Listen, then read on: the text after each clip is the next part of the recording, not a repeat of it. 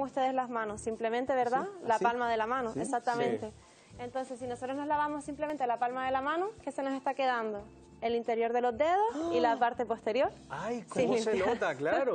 Nosotros hacemos así, hacer nos así. secamos las manos y nos vamos, ¿no? Vale. ¿Nos hacemos Entonces, ¿Nos hacemos cosquillitas? El siguiente paso sería al revés, hacerla hacia la, la parte posterior. Ay, esto no lo había hecho nunca, claro. incidir aquí, ¿vale? Que se vea bien que estamos cogiendo todos los pliegues de los dedos, porque vamos, si se fijan, vamos limpiando bien, ¿vale? Vamos llenando de jabón todo, ¿no? Después, si nos fijamos que se nos queda el dedo gordo, fíjense, lo Ah. tenemos sin limpiar. Entonces lo que se recomienda es que le dediquemos también una- un movimiento para poder llenarlo también de jabón. ¿Y qué nos queda? La zona, si lo han hecho correctamente, la zona de los dedos, aquí. Ahí ¿vale? delante, ¿ves? Nos queda. Lo hacemos en el interior de la ah, mano. en el interior. Sí, con el jabón que tenemos. Lo hacemos con la otra mano también.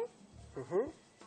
¿Y dónde tenemos resto? ¿Dónde no nos tenemos jabón? Aquí, aquí Muy detrás. bien, en la zona de las muñecas, exacto. También Entonces, hay que darle ahí. Correcto. Le damos por último, nos frotamos bien las muñecas Sí. y así es como hemos conseguido tener las manos totalmente limpias. Tenemos las manos mira. completamente rojas. Bueno, Eso limpias en este caso, exacto. Completamente rojas. Eso significa rojas, que sí. las hemos lavado